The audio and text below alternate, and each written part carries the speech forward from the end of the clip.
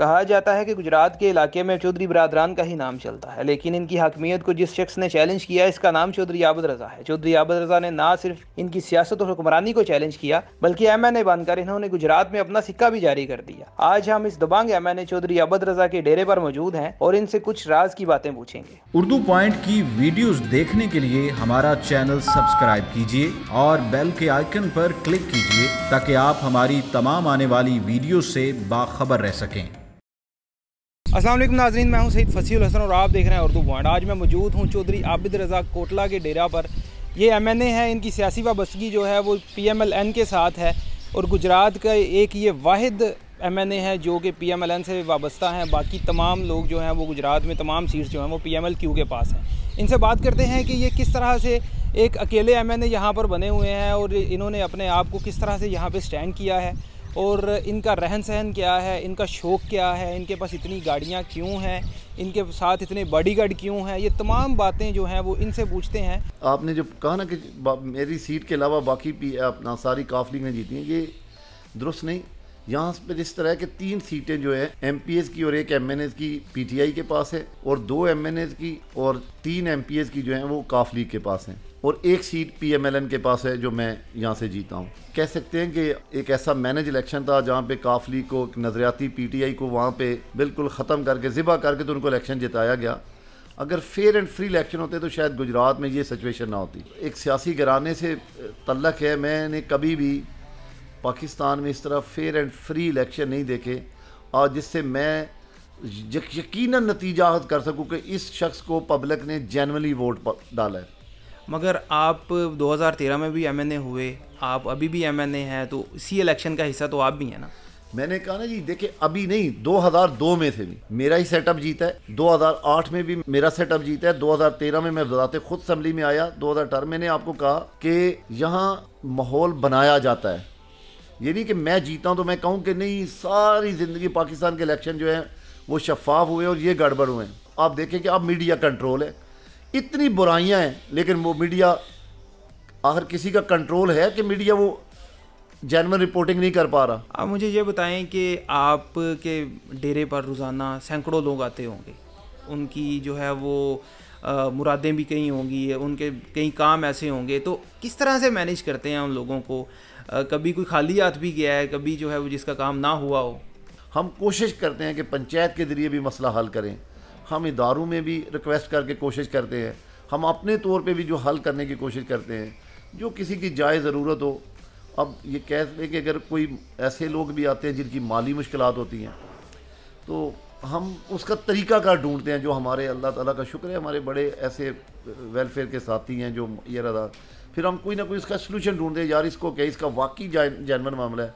लेकिन ये नहीं होगा कि किसी का कोई जैनवन प्रॉब्लम हो, चाहे वो माली क्यों ना हो वो मैं कितना भी सफ़ेद पोश क्यों ना हो लेकिन मैं उसका कोई हल ज़रूर निकालता हूँ। अच्छा जो साहब आप मुझे ये बताएँ कि बीसियों गाड़ियाँ बीसियों बॉडी गार्ड और लैंड क्रूज़र हाईलैक्स कारें कई किस्म की जो है वो गाड़ियाँ लेकर निकलना इसका शौक़ है या मजबूरी है? पहली बात तो मैंने कहा कि शौक़ का तो दूर दूर तस्वर भी नहीं।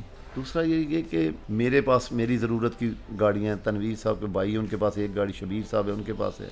बाकी फैमिली की अल्लाह का शुक्र आपका इलाका मैंने कहा कि बड़ा असूदा इलाका है बड़ा वेल डेवलप इलाका है।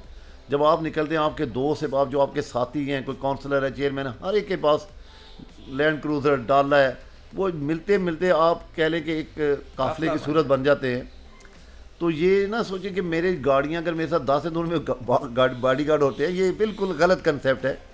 हाँ एहतियात के अतबार से आप अपनी सिक्योरिटी ज़रूर रखते हैं लेकिन ये ज़्यादा मैं आपको बताऊँ कि आपके जो मुख्तलिफ़ पुराने लोग हैं जो आपके मुश्किल वक़्त में आपके साथ रहे या जो सियासी आपके साथी हैं बड़े वी एनेबली वो मेरी गाड़ी में आप कभी भी मेरी गाड़ी में सात या आठ लोगों के कम नहीं देखेंगे। पी एम एल क्यू के बारे में क्या आपका कॉन्सेप्ट है? देखिए पी एम एल क्यू एक जमात नहीं है एक सियासी जमात या कि नज़रियाती जमात नहीं बल्कि वो तो एक इस्टेबलिशमेंट का एक ग्रो है।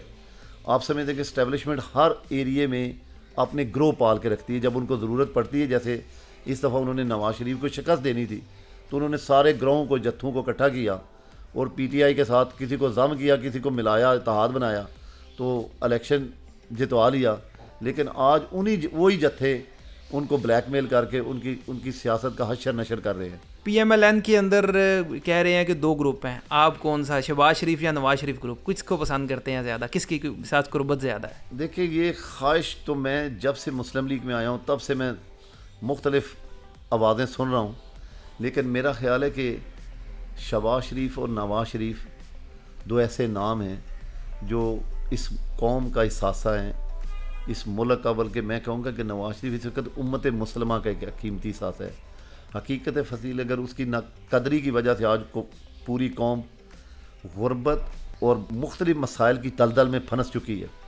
ये ख्वाहिश कभी किसी की पूरी नहीं होगी। शबाज शरीफ और नवाज़ शरीफ, देखिए, एक ही सिक्के के दो रुख है।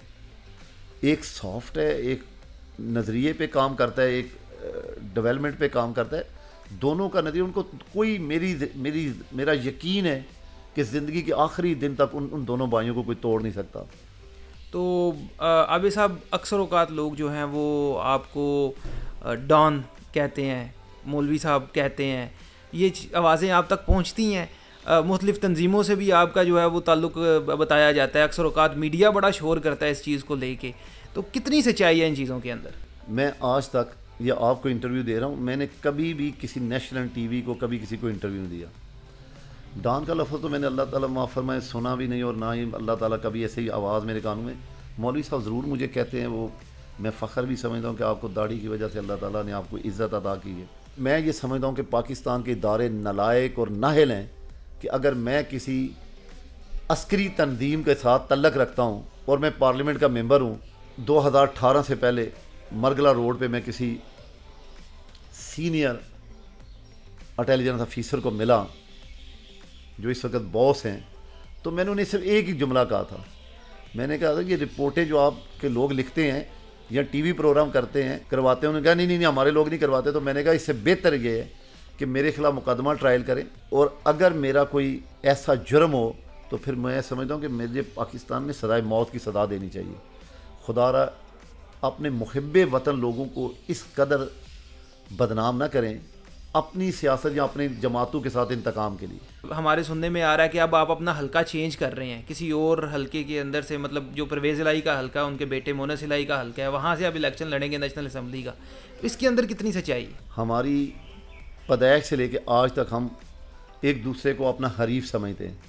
थे सियासी हरीफ लेकिन एक वक्त ऐसा आया कि जब वो दुश्मनी में उन उनके रोल इतने किरदार आवाज़ें आए कि जो मेरे अंदर एक इंतकाम की आग है, जो मैंने ज़िले का इलेक्शन जीतने के बाद वो अपनी तरफ़ से ख़त्म की। लेकिन जब उन्होंने दोबारा मेरे मुकाबले में यहाँ इलेक्शन लड़ने की की, फिर मैंने कहा नहीं। अगर देखिए मेरे मुकाब, मैंने अगर इलेक्शन लड़ना है तो फिर मैं क्यों जो उनका बॉस है चौधरी परवेज है, मैं उनके खिलाफ इलेक्शन लड़ूँगा। और मैं नजरियाती जमात का वहाँ झंडा गाड़ूँगा, जहाँ स्टैब्लिशमेंट का वो मोरा बैठा हुआ है। तो अब इस टाइम आपके मुकाबले में किस बंदे को वो खड़ा कर रहे हैं? देखिए, वो मुख्त बंदा तो नहीं खड़ा कर रहे मेरे तो ख्याल में, क्योंकि मैंने आपको कहा कि ये सबसे गुजरात का सूदा हल्का है। सबसे माली तबार से ये अमीर तरीन इलाका समझा जाए। और अगर आप इसका, इसकी अमली शक्ल देखनी हो तो यहाँ ककरा, शुरू करेंगे ककराली में, आप उनका एक पाँच कनाल का पैलेस बनता देखेंगे। फिर आप सराय आलमगीर जाएँगे, ग्रैंड सिटी के सामने भी एक बीस पच्चीस कनाल पे एक पैलेस बनता देखेंगे। तो ये ज़िंदगी में ये भी आपके लिए मुनफरद होगा कि किसी हल्के में कोई काउंसलर ना बना हो तो उसने ऐसा चक्कर ऐसा चलाया हो कि ढाई करोड़ रुपया मतलब शहर से लिया हो मतलब रियाज के भाई से ठीक है? वो कब्ज़े की जगहों पे फौरी तौर पे किसी को बरादरी का झांसा दे के तो वहाँ पे पैलेस खड़े किए हैं। देखें ये बहुत बड़ी बात है। मैं मैंने कहा ना कि मैं तो ये बात मैं नहीं कह रहा मैं कह रहा हूँ आप जाएँ प्रैक्टिकल दोनों विज़िट करें। ज़िंदगी में मैं ये डेरा ना जहाँ मुझे बीस साल हो गए सियासत करते हुए मैं आज तक इसको दोबारा से नहीं बना पाया। सियासतदान सिर्फ़ लोगों की खिदमत कर पाता है। ये पैलेस में मैंने कहा ना कि उन्होंने इतना पैसा कमाया जिसका आप तस्वर नहीं कर सकते।